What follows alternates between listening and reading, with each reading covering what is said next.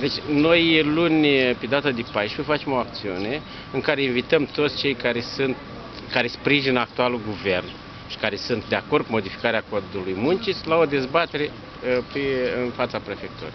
Deci noi, liderii celor patru confederații sindicale, uh, vom fi prezenți și așteptăm pe cei care sunt de acord cu modificările.